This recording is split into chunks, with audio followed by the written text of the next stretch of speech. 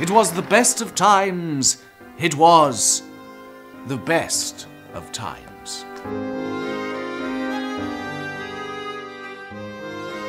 The river Medway flows through my veins, and its tides continually draw me back with ceaseless energy.